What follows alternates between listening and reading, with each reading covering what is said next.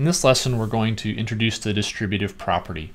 So um, the type of thing that the distributive property applies to is something like this. Let's say I have 3 times 6 plus 4.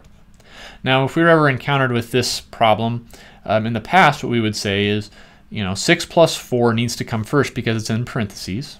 So 3 times 10. And then, of course, 3 times 10 is 30. Okay, that's fine. Uh, but the distributive property gives us a different way we can do this. Okay, so let's look at this situation here um, and kind of try to match up with it. So let me put my 3 here, my 6 here, and my 4 here.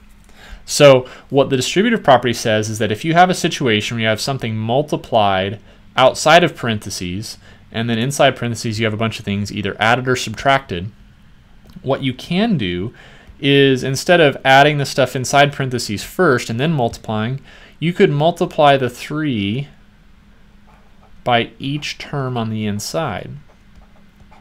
Okay? And, you know, we better get 30, right, if these truly are um, equivalent ways of, of, of simplifying. 3 times 6 is 18, 3 times 4 is 12, and sure enough, 18 plus 12 is 30. Okay?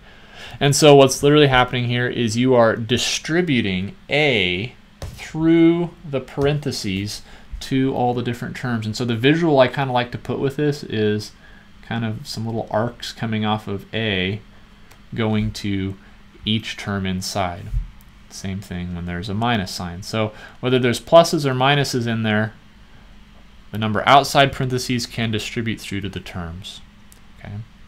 Now, if all you're dealing with is numbers, there's not much reason to do a distributive property instead of just the regular order of operations.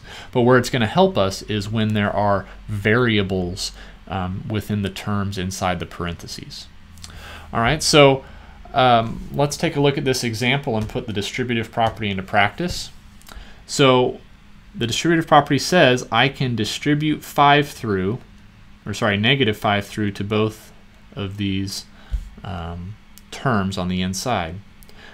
Okay, so we have negative 5 times 3x minus, so that's the minus sign that's sitting in parentheses there, minus negative 5 times 2 fifths. Okay. So over here, negative 5 times 3x, well, I can just multiply my negative 5 and my 3 using the associative property of multiplication. I won't bother to show every detail of that, but I'll get negative 15x minus, and let's do a little pre-reducing here, right? I understand that negative 5 is really negative 5 over 1, so I can cancel my 5's out. And so this leaves me with minus negative 1 times 2 is, of course, negative 2. And then the only other thing I'd want to do here to simplify is to turn my minus negative 2 into plus 2. And I can't do anything else here because um, these are what we refer to as unlike terms, and we'll get into more detail about that in the next section.